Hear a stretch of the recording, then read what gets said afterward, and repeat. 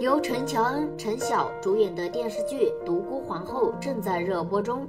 剧中，尉迟荣是蜀国公之女，在独孤伽罗的撮合下，与杨家联姻，嫁给了杨整。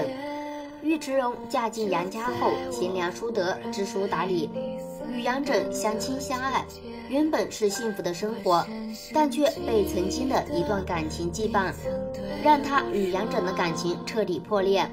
尉迟荣在没成亲之前，与青梅竹马有过一段绵绵情谊。但因为没有达到门当户对，之后与青梅竹马断绝关系，嫁进了杨府。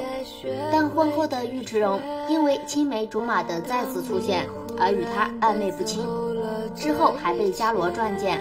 伽罗很在乎杨家声誉，也不想让尉迟荣名誉受损，于是让尉迟荣与青梅竹马断绝关系，并且将他赶出长安。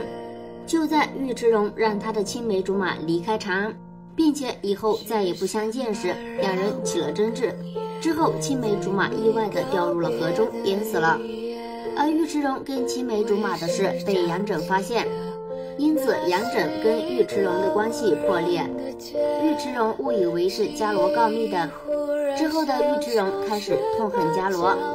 在伽罗怀孕后，尉迟荣便寻机下手，后来暗中害得伽罗流产。在伽罗得知是尉迟荣下的毒手时，当场崩溃痛哭。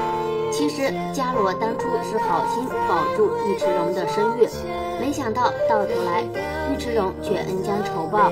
想必尉迟荣这样的心肠，最终的结局也不会好的。对于尉迟荣这样的人设，大家有什么看法呢？